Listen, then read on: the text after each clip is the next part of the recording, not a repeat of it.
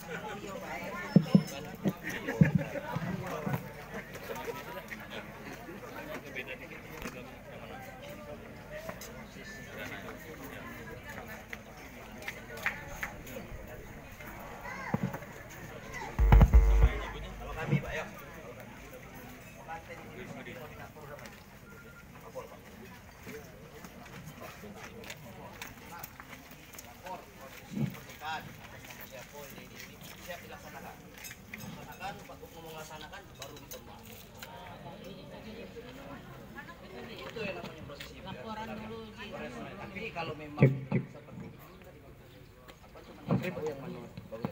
Karena tidak mungkin gitu itu laporan di tengah prosesi pak. Mas Tagana itu kan masuk dalam prosesi pak.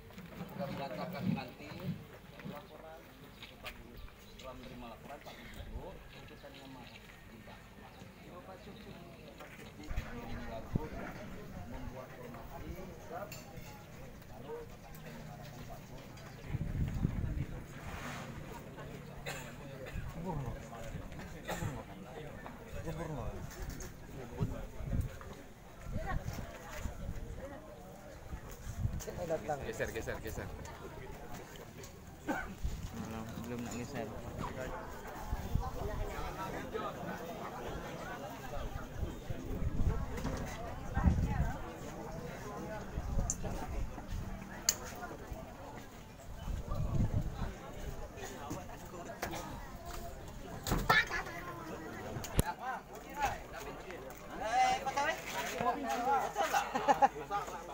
Dapin satu. Dapin satu.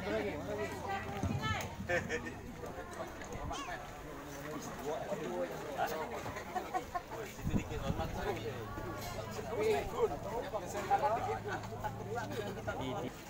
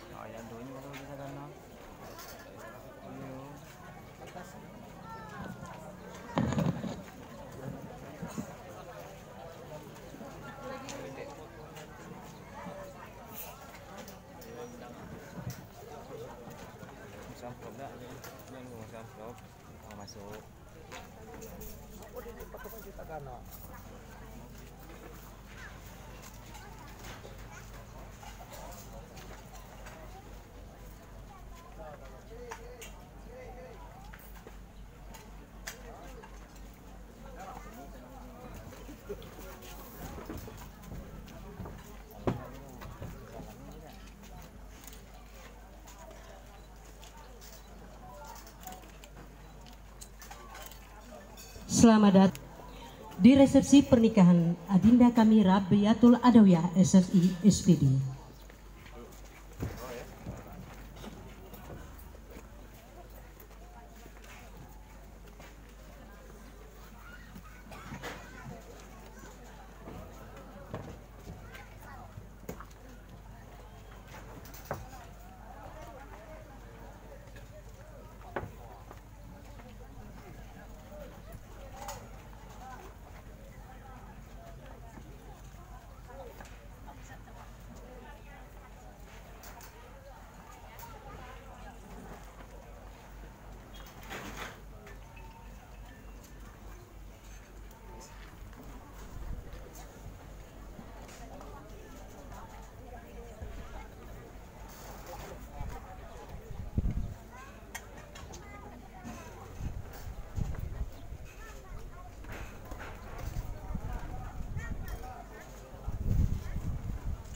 Kedua mempelai yang berbahagia, Saudari Rabiatul Adawiyah Esos I, SPD adalah anggota Tagana Kota Bengkulu. Dan Saudara Joni Aprizal adalah anggota Tagana Bengkulu Selatan.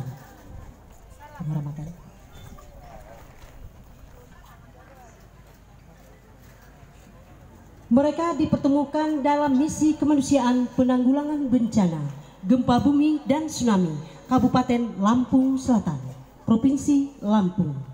Sehingga timbul benih cinta di lokasi bencana. Bermula dari kedua insan yang selalu bertemu dan bersama. Di dalam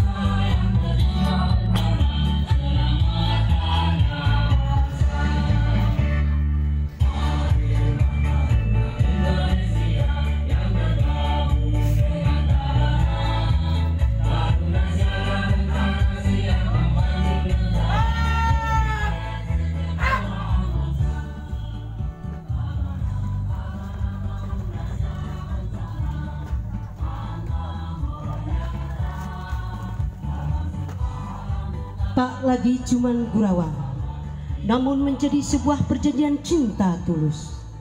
Terpadu lebur dalam sebuah akad perjanjian. Dari itu saling untuk mengagumi. Senampas mengumpulkan separuh jiwa saat akad terucap. Resmi jiwa rasa yang halal ini seluruhnya milikmu. Resmi hidup ini kuserahkan untukmu. Berjanjilah untuk katakan yang sebenarnya bahwa kita saling cinta. Kuajak kau membentuk keluarga yang diridhoinya. Di mana ada bencana, di situ ada tagana.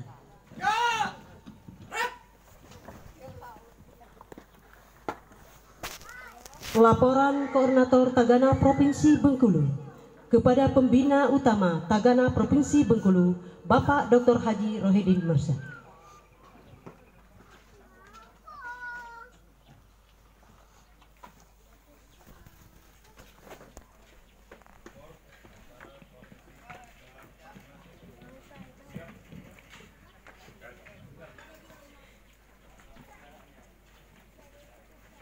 Dimohon kepada Bapak Pembina Utama Tagana Provinsi Bengkulu berkenan didampingi oleh Pembina Tagana Provinsi Bengkulu dan Pembina Tagana Kota Bengkulu untuk menyematkan cincin kebesaran kebahagiaan kepada kedua mempelai.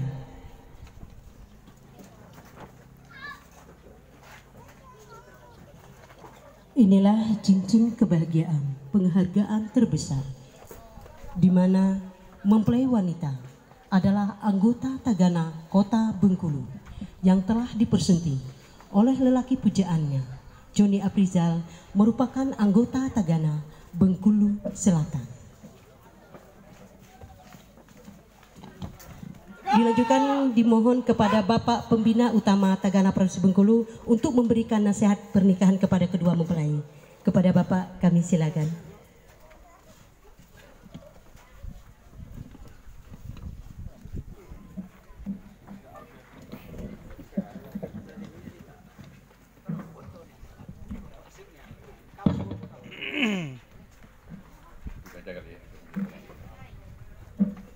Duduk aja. Kak. Eh, kedua mempelai silakan duduk.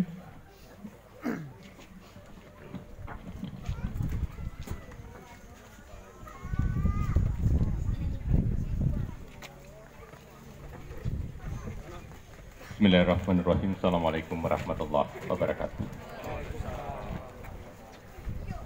Tentunya yang sama-sama kita hormati dan kita muliakan ini aparat pemerintah setempat ART karena ini adalah aparatur pemerintah yang paling dekat dan selalu berada di tengah-tengah masyarakat. Bapak Ibu hadirin sekalian, keluarga besar Tagana Provinsi Bengkulu, baik dari unsur pembina provinsi, kabupaten, kota, dan tentunya seluruh anggota pasangan pengantin anak adik ponakan kita Rabiatul dan Joni beserta orang tua dari kedua belah pihak yang berbahagia mengawali sambutan mungkin arahan pesan-pesan nasihat perkawinan yang saya sampaikan dalam kesempatan yang sangat baik ini pertama saya mengajak dan mengingatkan kita sekalian mari kita untuk tidak henti-hentinya selalu bersyukur kehadiran Allah Subhanahu wa taala atas segala limpahan nikmat karunia-Nya kepada kita sekalian. Secara khusus kita dapat hadir untuk ikut secara bersama-sama menyaksikan prosesi persemian pernikahan dari salah seorang keluarga besar kita di mana akad nikahnya sudah berlangsung dengan baik berjalan dengan lancar khidmat tidak ada halangan dan rintangan dalam bentuk apa pun Selanjutnya hal yang paling penting tentu dia ingin menyampaikan doa restu buat pasangan pengantin ini. Ananda Rabiatul dan Joni. Selamat menempuh hidup baru. Mudah-mudahan Anda berdua selalu bahagia dalam waktu yang tidak terbatas. Bahagia itu Rabiatul Joni sederhana sesungguhnya. Kalau kita menjalankan hidup berumah tangga ini sehat walafiat, baik lahir maupun batin, kemudian secara material berkecukupan, kemudian suasana rumah tangga kita tenang penuh berkah. Kalau demikian suasana rumah tangga insya Allah bahagia.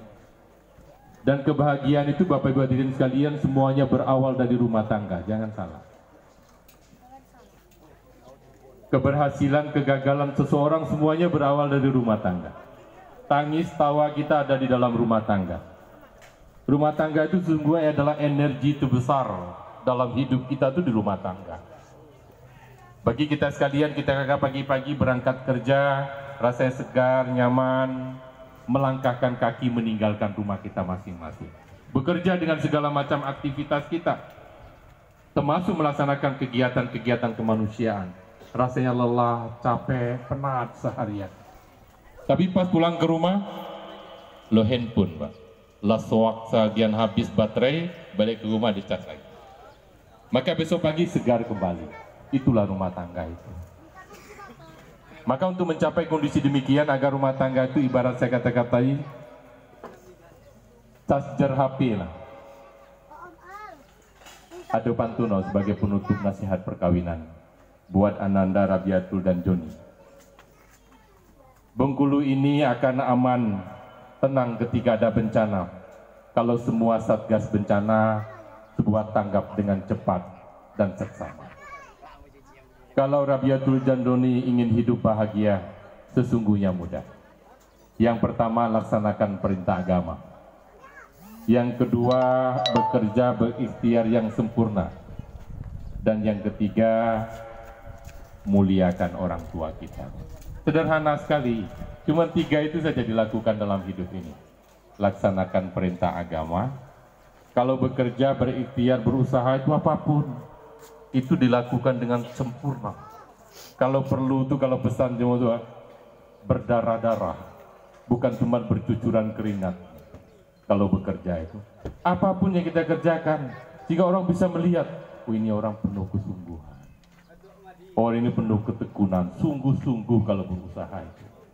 Karena pesan orang bijak sekalian, hasil itu tidak pernah mengingkari ikhtiar. Jangan belum bekerja ulang hitung-hitung hasil. Jangan belum memulai aktivitas, mulai mereka-reka hasil pendapatan. Karena hasil itu bukan wilayah kita sesungguhnya. Itu wilayah Allah Subhanahu wa taala. Wilayah kita apa? Ikhtiar. Wilayah kita itu kerja.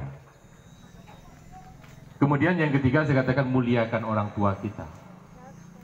Memuliakan orang tua ini Bapak Ibu sekalian mutlak Bapak Ibu ini ibarat sayap, Pak. Ibarat sepasang sayap pada burung.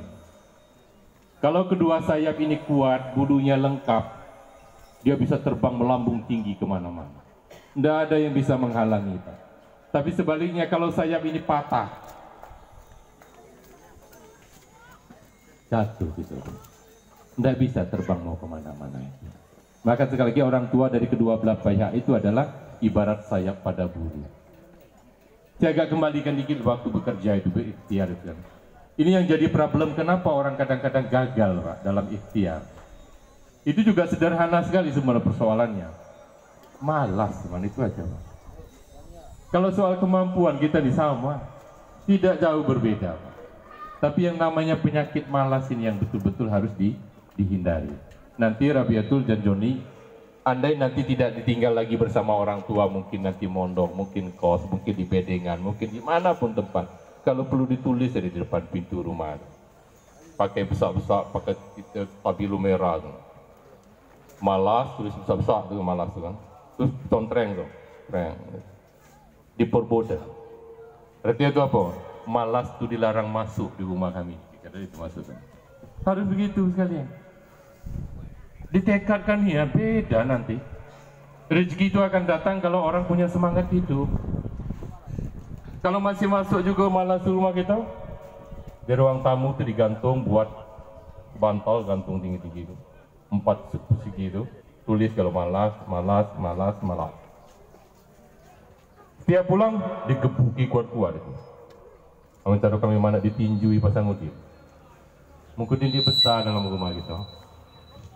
Andai malas itu berwujud orang, bukan orang malas ya. Lain ya. Andai malas itu berwujud orang, negurnya saja golam. Apalagi berteman dengan orang seperti itu. Negurnya aja nggak usah. Kalau malas itu berwujud orang, tapi bukan orang malas. Nanti ngina kawan kita malas, kata Pak Rudin jangan tegur, jangan. Ribut gitu. Nah maksud saya begitu pentingnya membuang sifat buruk ini ya sekalian. Inilah sekali lagi yang membuat kita tidak produktif, ya, tidak produktif. Saya dulu Pak sekali minta maaf, ini punya teman Pak. Dia merantau di sebuah kota, saya nggak usah sebutkan orangnya. Dengan segala keterbatasan, cuma taman SMA. Dia berjualan pertama kali itu di sebuah depan perkantoran itu. Jual koran Pak. Tapi dia tunjukkan ya kesungguhan siap dia nak kerja nak jualan di situ Pak. Dia bersihkan dulu sampai selok-selokan tuh. Dia sapui kalau. Padahal bukan wilayah dia. Akhirnya kepala kantor itu minta. Sapu cuma berjualan di depan ini. Ngapa beda kantor setelah ini berjualan? Akhirnya beda Pak. Akhirnya jualan boleh di depan situ dan dijadikan cleaning service di situ. Ini sederhana sekali sekali persoalannya. Dia memberi lebih dari apa yang dia punya. Ini tidak dibuat-buat akhirnya jadi karyawan cleaning service taman SMA akhirnya sambil kuliah tiga cerita sambil kuliah dapat sarjana hukum 20 tahun kemudian dia jadi kepala pengadilan negeri di tempat kantor itu pada akhirnya. Yang awalnya jual pedagang asongan numpang mojok dikit di depan kantor itu. Sekarang yang bersangkutan menunggu bahwa menempati posisi tertinggi di kantor itu. Ini nggak dibuat-buat pak sejarahnya. Dan anaknya yatim mbak merantau betul-betul merantau lepas. Tapi tadi kesungguhannya itu melampaui batas. Melampaui batas tadi tidak ada yang nyuruh dia pak ini enggak kadang-kadang jualan dia yang ikut ngotori lokasi situ ini enggak dia bersihkan semua akhirnya orang kan apa yang ini betul sekali apa yang mau Pak Ridin sampaikan itulah yang bisa mengubah masa depan kita itu adalah kesungguhan dan keseriusan, ketulusan dalam dalam berbuat. Dan pesan agama pun juga juga demikian. Saya kira itu yang dapat saya sampaikan. Sekali lagi selamat menempuh hidup baru buat Adinda, Rabiatul dan Joni. Mudah-mudahan Anda berdua selalu bahagia, sehat walafiat, berikhtiar dengan maksimal, bekerja dengan tulus, dan selalu muliakan orang tua, orang tua kita. Saya kira demikian yang dapat kami sampaikan sebagai pesan perkawin, ya, nasihat perkawinan dalam kesempatan ini. Lebih dan kurangnya mohon maaf. Dan pesan ini sesungguhnya juga buat saya dan buat kita semua. Terima kasih. Assalamualaikum warahmatullahi wabarakatuh. Dilanjutkan dengan sesi foto bersama ke terhadap kedua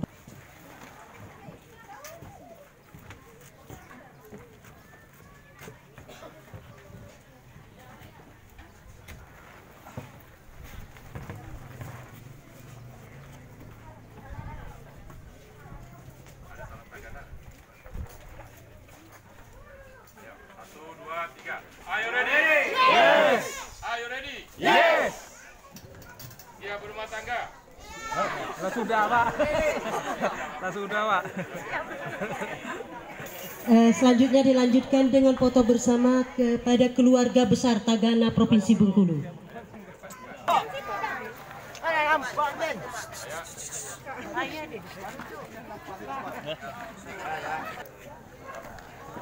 Aduh, pegal aku.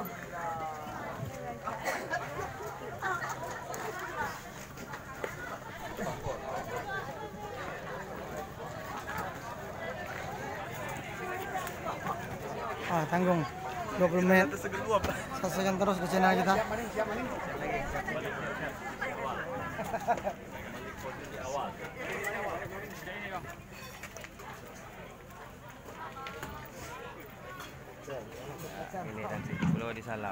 Dengan selesainya acara foto sesi bersama tadi, maka selesailah sudah segala rentetan acara penyematan kebesaran cincin kebahagiaan terhadap kedua mempelai. Kami atas nama Tagana Provinsi Bengkulu, Dinas Sosial Provinsi Bengkulu, Dinas Sosial Kota Bengkulu, mengucapkan terima kasih atas dukungan dan kerjasama semua pihak. Kami akhiri, wabillahi taufiq walhidayah. Wassalamualaikum warahmatullahi wabarakatuh.